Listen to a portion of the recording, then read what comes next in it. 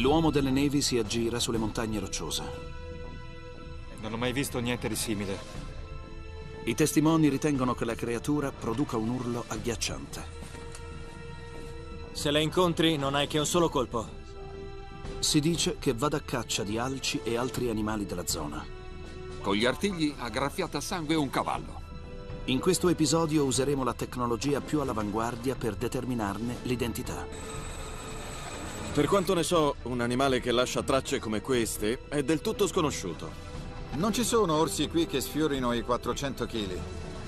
Tutti si impegneranno al meglio per rivelare chi sia questo terribile predatore. Sembra ci fosse qualcosa qui di recente. Cos'è quello? Mi sembra di aver visto qualcosa. Testimoni di tutto il mondo affermano di aver visto delle creature mostruose. Sono reali o immaginarie? La scienza cerca delle risposte e va a caccia di mostri.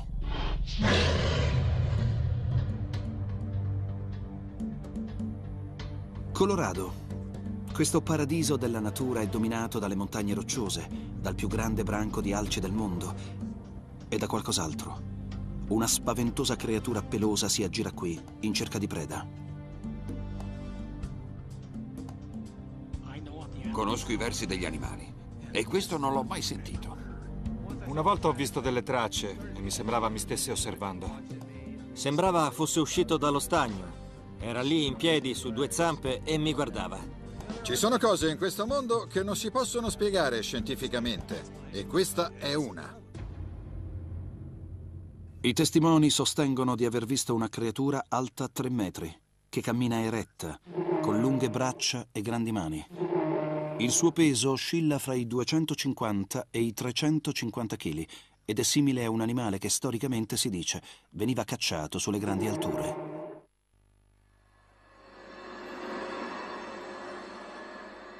Esistono molte storie su una creatura della foresta simile a un uomo o a un gorilla. Katy Lall è giornalista e storica del Colorado da oltre 60 anni e ha anche raccolto storie sulla creatura lungo i secoli. Risalgono al 1880 e sono riportate dal giornale delle miniere di Leadville.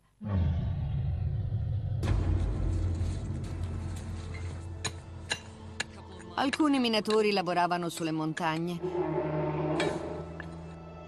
e sentirono uno strano verso. Per indagare meglio si arrampicarono sulle rocce. Quando uno degli uomini arriva fino in cima fa uno spaventoso incontro. Racconta l'incredibile storia di un essere peloso, con cui si trova faccia a faccia metà uomo e metà bestia, diverso da qualunque altra cosa. I giornali dicono che il minatore era pallido come un cencio e tanto spaventato da non riuscire a parlare e spiegare cosa avesse visto. In ogni storia è descritto un po' diversamente, ma è sempre un incrocio tra un uomo e un gorilla. Più alto di un uomo, molto più massiccio, tra i 180 e i 360 kg, peloso, con braccia e gambe molto lunghe. Le storie sugli avvistamenti non impediscono ad altri di essere scettici. Bill Hiker è un biologo del Dipartimento per la fauna selvatica del Colorado. Se una creatura simile esistesse, tipo un Sasquatch, o comunque tu lo voglia chiamare, dovrebbero esserci prove concrete. Avremmo dovuto trovare dei cadaveri, delle ossa e, per esempio, se fosse erbivoro, trovare anche dei segni di cosa si nutre. Per Hiker la scarsa frequenza degli avvistamenti aumenta i dubbi. Bisognerebbe incontrarlo o trovare segni del suo passaggio. Ma sono proprio gli incontri ad aver convinto molti che la creatura esiste. Il ricercatore Kate Foster indaga sugli avvistamenti da oltre 15 anni. Di solito in Colorado gli avvistamenti non vengono riportati da campeggiatori inesperti, anzi si tratta di persone che hanno trascorso molto tempo nella natura, nei boschi. E questo attribuisce una certa credibilità a tali incontri. Foster ha catalogato più di centinaia di resoconti. La maggior parte sono avvenuti vicino a Pikes Peak, sulle montagne rocciose, a 80 km dalla città di Colorado Springs. Queste foto sono state scattate sulle montagne a 3300 metri e sono parte di una serie di avvistamenti recenti. Le orme sono grandi e la lunghezza dei passi raggiunge gli 1 o i 2 metri. Quindi sono facili da identificare perché non c'è proprio nient'altro in natura che lasci tracce di questo tipo. Foster ritiene che queste potrebbero essere le tracce di un animale misterioso. È qui, a 3300 metri, che a caccia di mostri vuole cominciare la sua spedizione per scoprire l'identità del predatore e grazie a una perlustrazione aerea cercare le prove. Il sistema più efficiente per trovare una creatura come questa in terreni montuosi è proprio l'elicottero. Paul Drexler, fotografo naturalistico, sarà responsabile della raccolta di prove fotografiche della creatura. Per questa spedizione ha scelto due strumenti. Una è una videocamera ad alta definizione e l'altra è la più avanzata tecnologia a sensibilità termica. Cercheremo delle fonti di calore, ovvero i segni prodotti da un qualunque tipo di creatura che abbia lasciato una traccia. Questa telecamera termica mostra il calore emanato da un qualunque oggetto e anche quello residuo, conseguenza di una qualsiasi attività recente. Questo significa che il calore di tracce fresche potrebbe mostrare la direzione in cui la creatura si è diretta. Sulle alte montagne, quando comincia a nevicare, a volte si è costretti ad atterrare. Volare a queste altitudini rappresenta comunque un pericolo, anche per dei piloti esperti. I voli ad alta quota possono sempre dare problemi. Uno riguarda il vento, che può essere molto forte. Oggi ci sono molte raffiche e un jet ha già riferito di una moderata turbolenza, che per noi significa forte turbolenza. Un secondo problema è l'aria rarefatta, che rende difficile il volo. Usare maggiore potenza significa meno riserve. Gli esperti voleranno a bordo di un Westland Gazelle che offre una grande manovrabilità anche a queste altitudini. Siamo pronti a entrare in azione. Riusciremo a seguire qualunque cosa troviamo e gli resteremo vicino. Direi che abbiamo potenza sufficiente. Tenetevi pronti al decollo. Temperatura e pressione sono regolari. Controllo della potenza. Siamo pronti.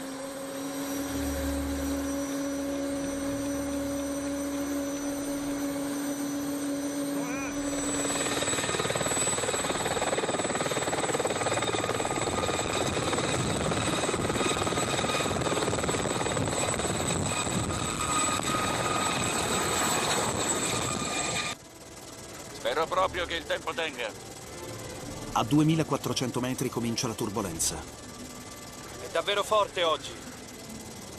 Guarda quelle nuvole. Ci sarà tempo brutto. Anzi, è già arrivato. Durante la perlustrazione, la sola protezione di Drexler dal vento e da una caduta fatale è un'imbracatura. La temperatura precipita, aumentando il pericolo. Hai sentito? La temperatura è scesa. Ho sentito.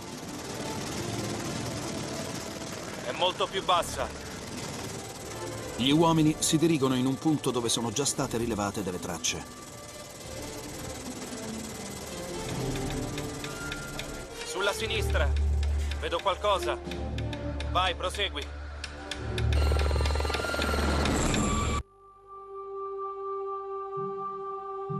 A caccia di mostri sta risalendo le alte montagne del Colorado alla ricerca di ciò che alcuni chiamano l'uomo delle nevi.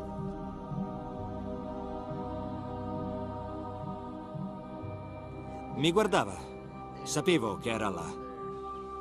Jeff Deisinger è una guida professionista della zona da oltre 15 anni. Mentre è a caccia di alci racconta di un incontro faccia a faccia.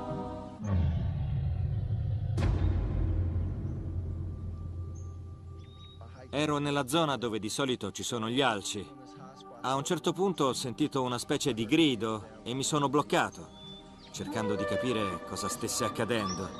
E poi vidi quella cosa in piedi, su due zampe, che guardava dritto davanti a me. Ero a circa 180 metri da lui E se devo essere sincero, il primo pensiero non è stato tanto capire cosa fosse, ma se stava venendo verso di me, perché avrei avuto un solo colpo. L'ho guardata a lungo, visto bene i tratti del volto, i colori e tutto.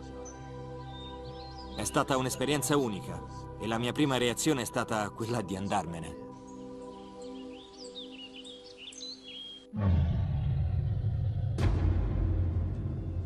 Per Kit Foster non è un caso che la creatura si trovi vicino agli alci. Credo che qui in Colorado ci sia un habitat idoneo per i Sasquatch. È un ambiente privilegiato. Comunque un predatore di alci seguirà ovviamente gli alci. E naturalmente, come tutti i predatori, cercherà di catturarli. Ma resterà lontano quanto basta per non far scappare la sua fonte di cibo. Foster sostiene che la creatura migri con gli alci attraverso le montagne rocciose. Ed è per questo che le tracce appaiono solo in certe stagioni. Ma mancano ricerche serie.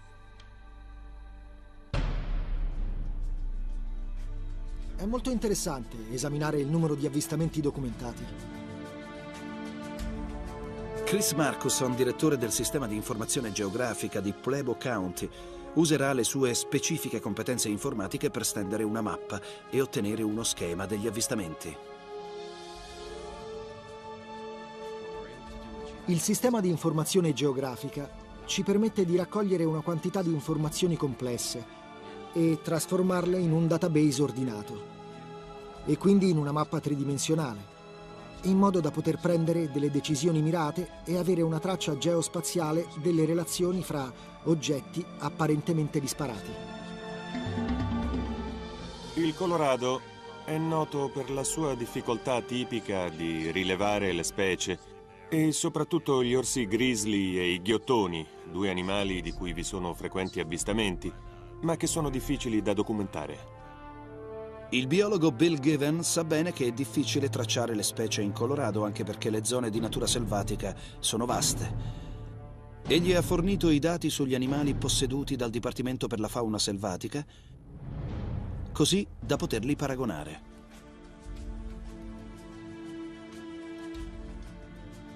Quello che abbiamo fatto per ora è stato raccogliere i dati disponibili e inserirli in una mappa. Come si può vedere qui, i punti rossi rappresentano gli avvistamenti. È chiaramente una specie che si concentra sulle zone montuose, soprattutto centrali. Un'area cioè dove la fauna selvatica si spinge alle altitudini maggiori, allargandosi un po' anche verso ovest, dove ci sono degli altipiani sperduti. Eseguendo un'analisi della densità è possibile individuare le zone privilegiate. Sembrerebbe che qui a Route County, così come a Teller County e anche a San Juan Mountains, ci siano delle zone di natura selvaggia. Ma ciò che è interessante è che sono aree quasi ai confini. E questo ha senso, perché serve che vi siano molte persone perché avvengano degli avvistamenti. E comunque sono zone abbastanza isolate. L'analisi iniziale rivela che la metà degli avvistamenti avviene tra ottobre e aprile. Questo non sembra coincidere con il comportamento di un probabile predatore di alci, ovvero l'orso. Che delle persone vedano degli orsi e li scambino per dei Sasquatch sarebbe comunque curioso, visto che siamo in inverno e gli orsi sono in letargo. Siamo fortunati qui in Colorado ad avere più alci di qualunque altro stato. Rappresentiamo una delle più abbondanti fonti di cibo per i grandi mammiferi e, come si può vedere da qui, l'area degli avvistamenti è per due terzi entro il nostro territorio. Se l'uomo delle nevi segue la migrazione degli alci, in inverno gli avvistamenti avverranno ad altitudini più basse. Esaminando l'altitudine media emerge che gli incontri in inverno si sono verificati tra i 2200 e i 2700 metri e in estate 300 metri più in alto. Questo ci fa capire che si tratta di una specie che in genere si muove a elevate altitudini, ma c'è una differenza nello schema migratorio. E in inverno si muove ad altitudini più basse che in estate. I dati sembrano suggerire che l'uomo delle nevi cacci davvero gli alci di Pikes Peak. È un fatto importante da considerare. Abbiamo capito che gli avvistamenti variano a seconda della stagione perché questo ha una corrispondenza con lo spostamento delle alci, un cibo necessario per i Sasquatch.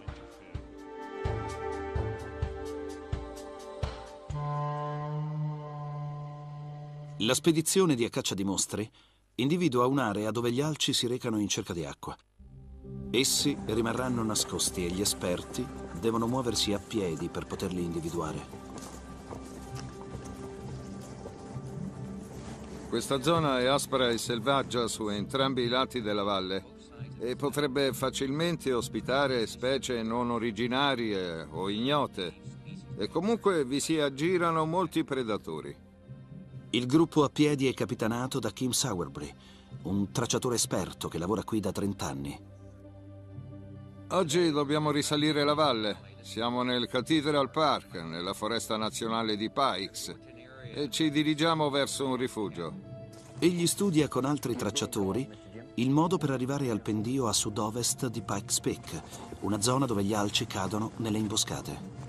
È una zona che piace ai leoni di montagna, ma anche agli alci, perché si possono inoltrare nel buio del bosco, su terreni scoscesi dove è difficile per i predatori arrivare. Nei mesi invernali gli alci cercano il cibo ai bordi della neve perenne a 2800 metri. È qui che la ricerca comincerà.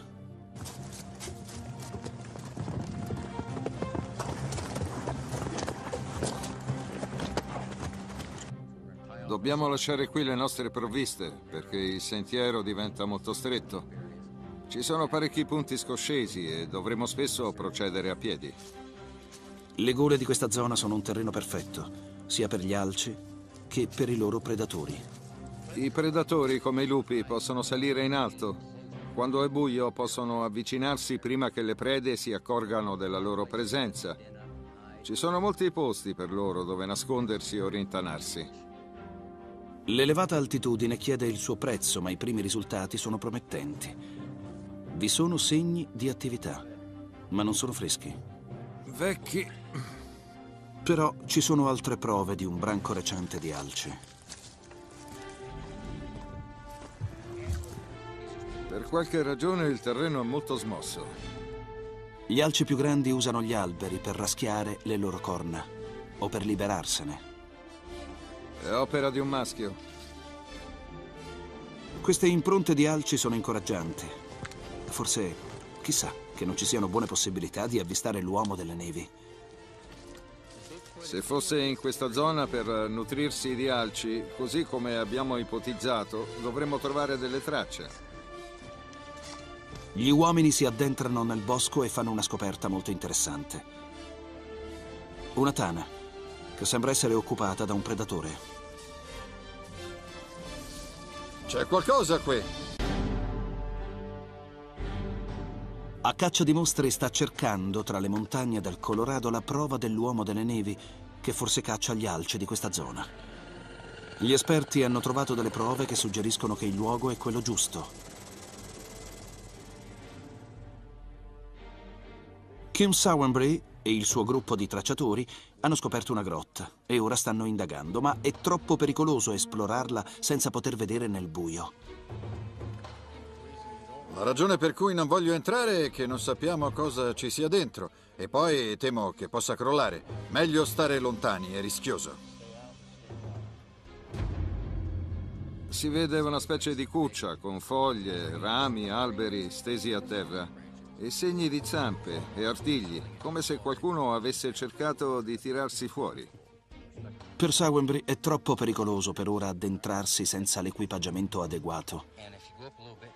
Mi piacerebbe farlo domani, prendere l'attrezzatura per le riprese e esplorare bene l'interno. Gli esperti hanno con sé una telecamera termica che hanno posizionato di fronte all'entrata della grotta in caso di attività. Dovremmo ottenere buone riprese degli animali che vi entrano. Devono passare da un punto molto stretto, per cui le immagini dovrebbero essere buone.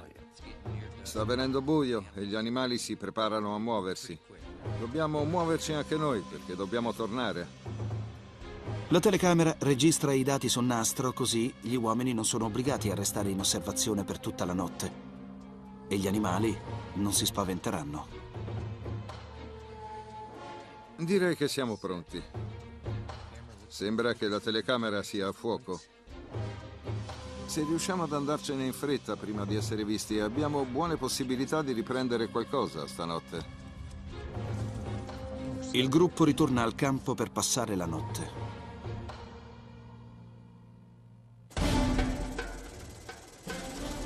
Ma se la ricerca via terra porta ad alcuni interessanti rilevamenti, anche l'elicottero scopre alcune tracce nella neve. Ci sono delle tracce qui. Guarda, sì, guarda, sono tre serie. Ritorno di nuovo sopra. Paul Drexler usa la telecamera termica per verificare che le tracce siano fresche, ma in realtà non emanano alcun calore. Queste tracce sono vecchie. Ad un tratto un'occhiata da vicino rivela qualcosa. Un coyote. Vai avanti. Sì, ma il carburante è al limite. Gli uomini sono incoraggiati dall'avvistamento. Sono nella zona giusta. Permesso di atterrare. Puoi atterrare.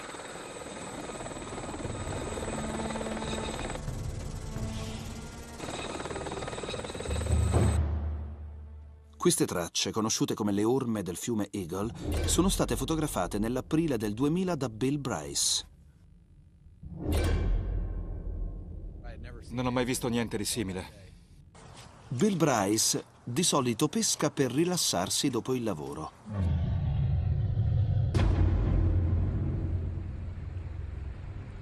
Stavo camminando non molto lontano dal fiume Eagle. Era primavera. Quindi l'acqua era alta e la corrente rapida. Mi ero portato sulla riva per mettere un'altra esca e mentre guardavo verso il basso un'impronta nel terreno catturò la mia attenzione. Mi fece sussultare perché era enorme sembrava umana, ma era troppo grande per esserlo. Così cominciai a guardarmi intorno perché era chiaro che qualunque cosa fosse era gigante. Mi si rizzarono i capelli in testa e sentì che qualcosa mi stava osservando. Il giorno seguente, Bryce torna per scattare una foto dell'orma e poi la mostra alle autorità locali. Tutto quello che posso dire è che ciò che ha impressionato Bill Bryce non appartiene a un orso, né a un uomo. Bill Hiker è un biologo del Dipartimento per la fauna selvatica del Colorado. Egli afferma che in 32 anni di servizio non ha mai visto niente di simile. Non credo sia uno scherzo. Bill Bryce ha davvero trovato quelle tracce e immagino abbia pensato fosse un Sasquatch. Lo sceriffo di Eagle County, Bill Kaufman, viene chiamato affinché collabori all'identificazione. Non conosco nessun animale nella zona che possa lasciare un'impronta simile. La profondità dell'orma è significativa. Sappiamo che qui nei dintorni ci sono pochi animali che abbiano un peso sufficiente per lasciare una traccia del genere. E ricordo che allora stabilimmo che poteva sfiorare i 270 kg. Il luogo dove sono state trovate le tracce è un luogo dove di solito non va nessuno. Non ci sono né strade né piste e l'unico modo per arrivarci è attraversare il fiume. Eagle River è uno dei fiumi più infidi in cui io sia mai stato. È difficile da guardare e se anche qualcuno volesse fare uno scherzo non avrebbe un gran successo. Ci potrebbero volere decenni perché qualcuno lo scopra. È un punto isolato. Non ci si passa per caso.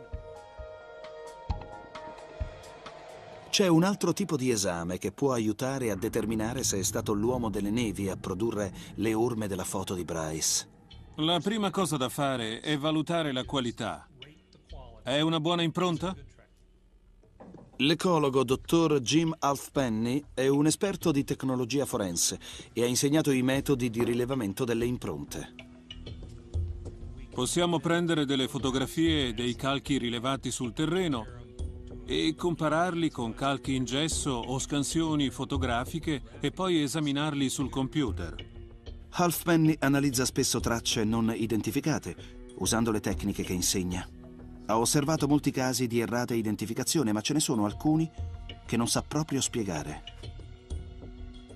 C'è una categoria di tracce che ha solo due possibili soluzioni. O sono prodotte da una creatura non ancora documentata dalla scienza, o sono false.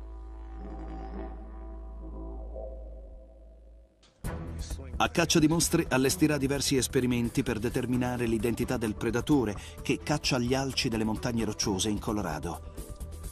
Bill Hiker ne condurrà uno sullo stesso terreno dove sono state trovate le tracce del fiume Eagle per determinare, almeno lui spera, il peso della creatura che può averle lasciate. Mai visto niente di simile. A caccia di mostri ha usato le foto per riprodurre le tracce. Davvero delle ottime foto. La presenza del metro che indica la lunghezza permette di determinare la larghezza e anche la profondità della traccia. La riproduzione dell'impronta è montata su un'intelaiatura che sopporta migliaia di chili. Verranno aggiunti dei sacchi di sabbia fino a che lo spessore corrisponderà. Bene.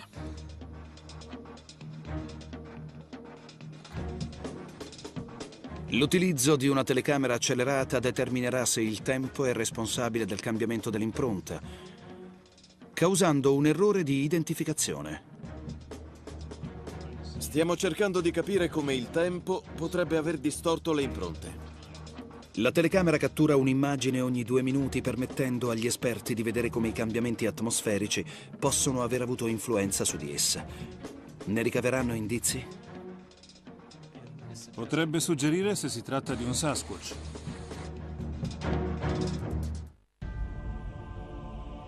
Colorado. È qui che a caccia di mostri si è recata per trovare il predatore di alci delle montagne rocciose. Le leggende dell'uomo delle nevi vengono tramandate da molte generazioni. Le mani erano tutte nere e anche il volto era simile a un gorilla. John Trujillo dice di aver avuto due incontri con il mostro proprio vicino a casa.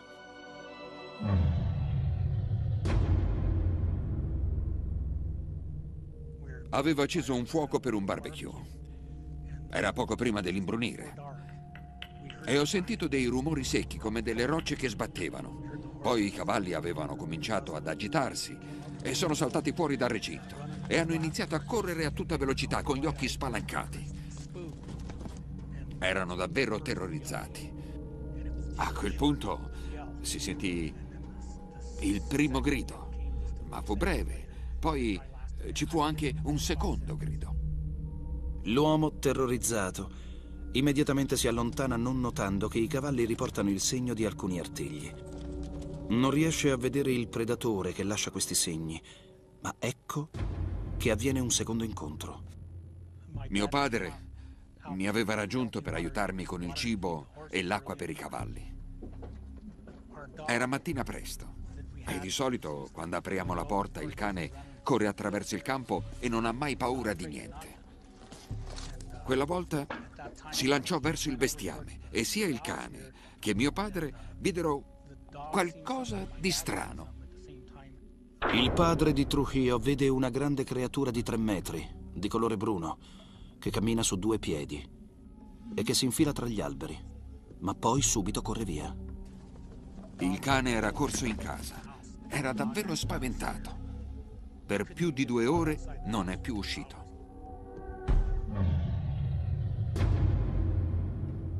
Per andare alla ricerca di nuove prove, gli esperti di A caccia di mostri si inoltrano a piedi nella foresta incontro alla creatura. Hanno trovato una zona interessante e promettente. Se dobbiamo trovare un grande predatore, questo è un luogo ideale per cercare. Tutto ciò di cui può avere bisogno, prede e acqua, qui c'è. Nella zona c'è anche una grotta abbandonata che rivela segni evidenti di un passato predatore. Forse è la casa dell'uomo delle nevi. Oggi metteremo un grandangolo sulla telecamera in modo da avere una visione ampia dell'interno della grotta. Un'apertura di tre metri dovrebbe permetterci di vedere qualunque cosa si trovi al suo interno. L'esplorazione iniziale della grotta rivela che attualmente è vuota. Ma questo non significa affatto che un grande predatore non ne abbia potuto fare un tempo la propria casa. È evidente che qualcuno è stato qui e per un certo periodo vi ha dormito. È abbastanza ampia per ospitare un grande predatore.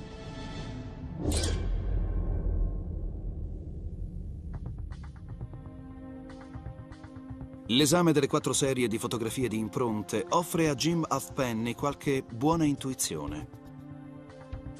Abbiamo una lista di criteri per ogni specie mammifera e li esaminerò tutti per vedere se le foto corrispondono a qualche speciale categoria. Dopo aver fatto questo, potrò valutare se questa traccia è stata fatta da un animale selvatico, che è normalmente presente qui, o magari da un Sasquatch. La prima serie di tracce è stata fotografata a 150 km da Pikes Peak. Si vede chiaramente che ci sono delle dita e gli aghi di pino sono utili per capire le proporzioni. L'arco delle dita non è regolare, come quello che per esempio caratterizza i nostri piedi. In questo caso ce ne sono un paio qui e poi questi altri un po' più su. Sono dita che provengono da diverse tracce. Tutti e tre questi criteri, la forma delle dita, l'arco che disegnano e i cuscinetti interdigitali, suggeriscono un grande felino, forse un puma. Sembrano simili alla successiva serie di tracce di Pies Peak. La mia prima reazione, vedendo anche la foto che mostra una riga dritta, mi ha fatto pensare allo schema di una corsa al galoppo o a salti. Se la creatura cammina su due piedi, le tracce dovrebbero avere uno spostamento destra-sinistra. La distanza tra esse e il loro susseguirsi è un fattore chiave nella comprensione di cosa le ha lasciate. Lo schema si rivela praticamente diritto, non c'è spostamento. Più un animale si muove veloce, meno tale spostamento destra-sinistra è visibile. Ma quando si parla di una creatura quale potrebbe essere un Sasquatch, che pesa centinaia di chili e che ha quindi una corporatura massiccia, l'andatura non può essere troppo veloce, come invece vorrebbe suggerire questa fila di orme, una davanti all'altra.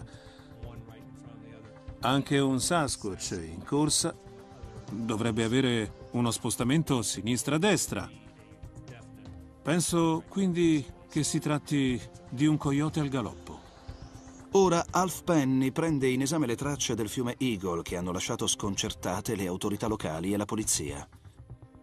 Sono un'interessante serie di tracce e sono state prese sul terreno, non sulla neve. Mi fanno pensare a qualcuno con le gambe divaricate. Fortunatamente disponiamo di foto panoramiche in primo piano da cui è possibile dedurre l'orientamento. Le fotografie mostrano che l'impronta è di circa 47 cm, ma a 33 c'è un piccolo sprofondamento simile a un tallone. Qui in Colorado gli orsi bruni sono animali comuni e se pensiamo alla misura massima possibile di una loro impronta, potrebbe anche trattarsi di uno di questi esemplari dalle cui tracce si deduce un tipo di appoggio in movimento. Eh, tuttavia siamo di fronte a un'impronta di 33 cm x 19 ed è veramente grande per un orso bruno, anche se si trattasse delle zampe posteriori. Quindi forse potremmo escludere un grosso orso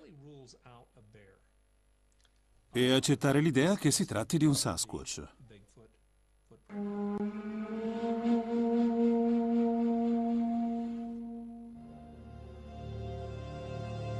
A caccia di mostri sta conducendo un esperimento che determini il peso dell'uomo delle nevi, che si aggira da queste parti.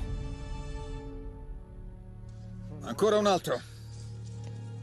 Dopo aver impilato 135 kg di sabbia, gli esperti esaminano la traccia. Un orso bruno maschio di media grandezza può anche pesare 135 kg, ma stiamo parlando di un esemplare piuttosto grosso, tuttavia non enorme. C'è questo segno leggero, però. Il tallone dovrebbe trovarsi qui, ma è quasi invisibile. Ci vogliono altri sacchi di sabbia. Aggiungono 109 kg e portano il totale a 244. Le impronte sono comunque meno profonde di quella del fiume Eagle, di 7 cm. 244 kg corrispondono a un orso bruno maschio. Bello grosso, ma riguardo al tallone, per quanto vedo, l'orma non è abbastanza uniforme. Quindi mettiamo altri quattro sacchi. Arriviamo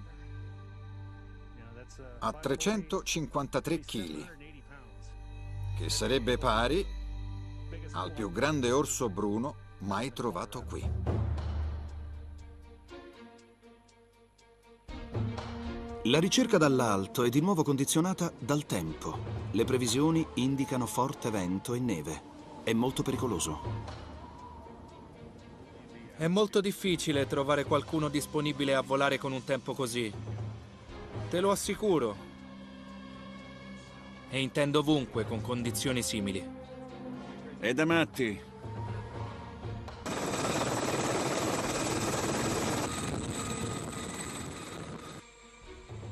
La tempesta impedisce però agli uomini di salire fino a 3300 metri. Le pale sbattono molto. Sono ben al di sotto delle attuali nevi perenni e della zona dove gli alci probabilmente pascolano. Individuare le tracce è quasi impossibile. Qui è elicottero. Stiamo esplorando un po' verso nord per vedere se riusciamo a trovare un buon punto. Ma è molto difficile trovare una buona neve con molte tracce. E anche fresche. Il tempo peggiora e devono interrompere. Ecco, ora c'è poca neve. E ci sono delle tracce qui, le vedo.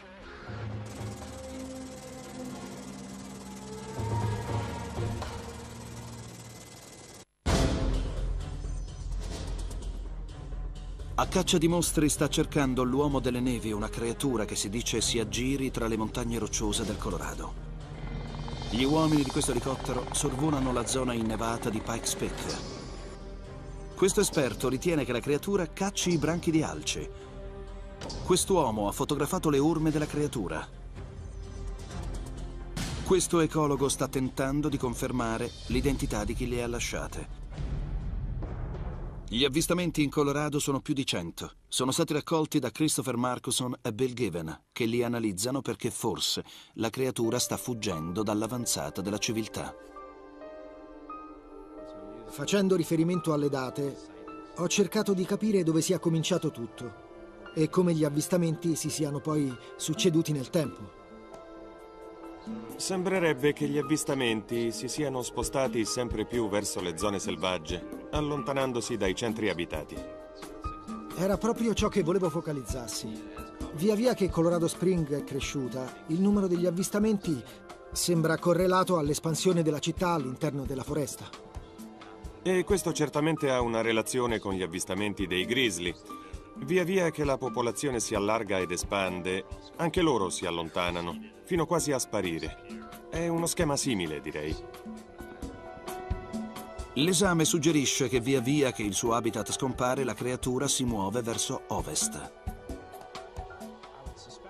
Tutte le specie selvatiche si stanno confrontando con lo sviluppo tecnologico e civile e con l'impatto umano sull'ambiente.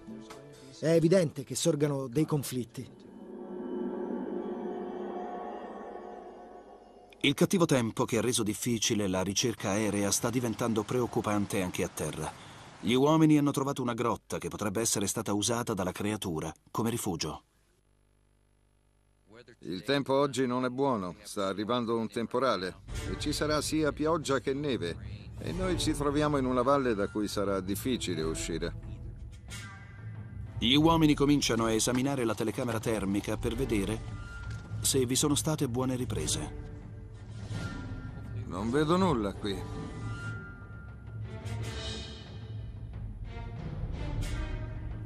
Mi sembra proprio ci sia niente.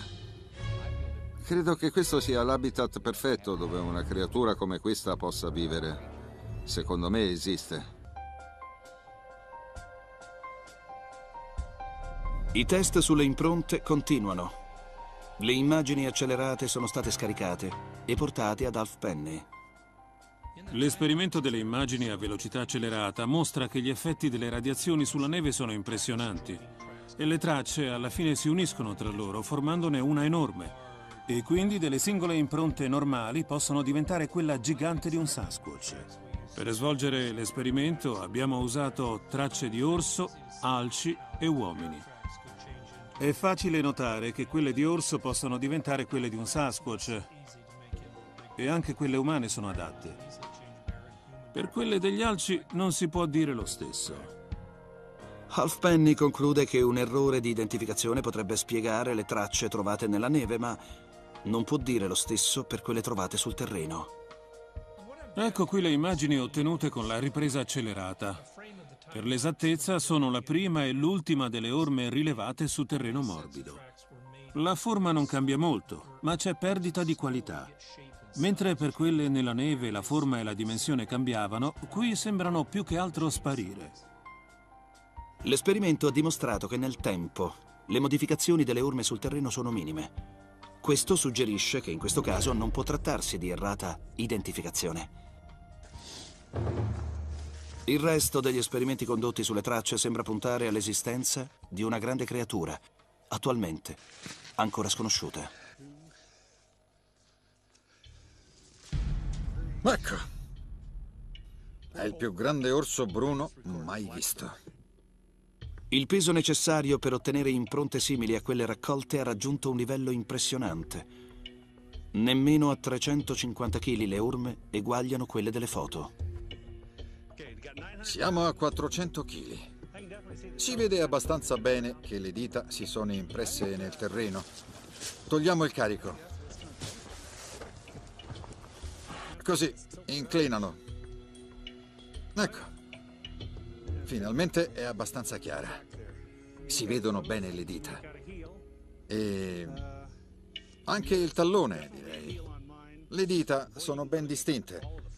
Penso sia abbastanza simile alla fotografia adesso. Ma il peso è fisso. Non ha il movimento dinamico tipico di una persona o di un animale che si muove e il cui peso quindi oscilla.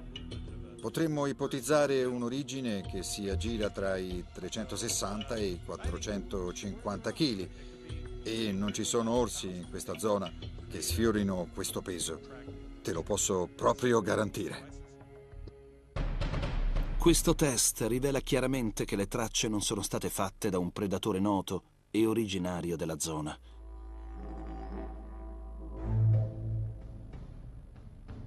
Il gruppo di ricerca sull'elicottero ha individuato orme interessanti. Penso di aver visto qualcosa.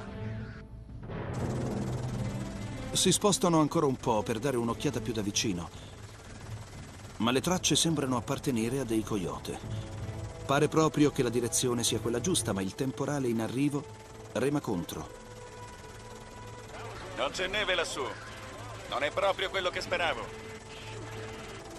Guarda che muro quelle nuvole in arrivo. È meglio che ci togliamo da qui. Sta diventando buio. Si mette proprio male.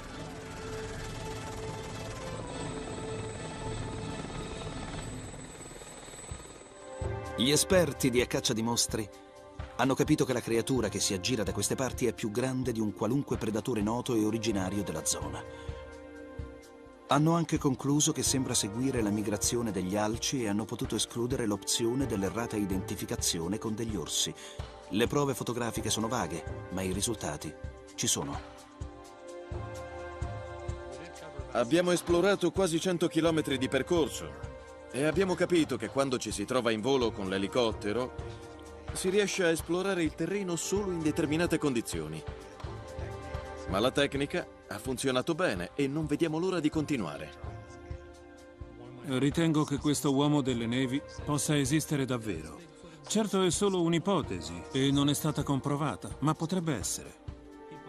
Molti hanno visto qualcosa nella foresta, sia che si tratti di Sasquatch o no.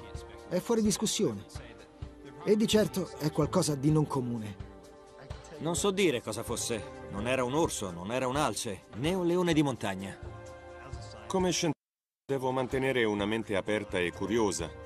Ed è vero che ancora oggi stiamo scoprendo nuove specie in zone remote del mondo, anche se spesso sono difficili da studiare e documentare.